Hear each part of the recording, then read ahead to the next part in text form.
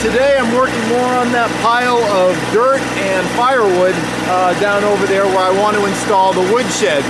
I'm taking all of the debris, the uh, pine needles and all the dirt and everything, bringing it up with this tractor and dumping it here, and I'm slowly raking it down over the well line. We did not freeze up in our well line last year, but we were always fortunate that whenever the temperatures dipped down really low, we always had a good uh, cover of snow on the ground. So if we had a winter in the future where there was no snow and we had really cold temperatures, I'm not convinced that our well line is safe yet. So I keep adding to, you know, to this area. a lot of yelling. to try to get it uh, as best I can to protect that well line. And I, I need a place to put this stuff anyway.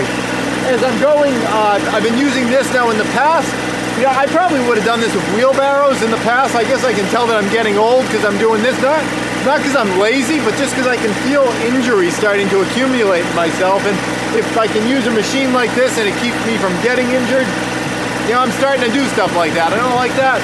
I like the good old days when it was a shovel and a uh, wheelbarrow and it wasn't burning fossil fuels and it wasn't creating a lot of noise.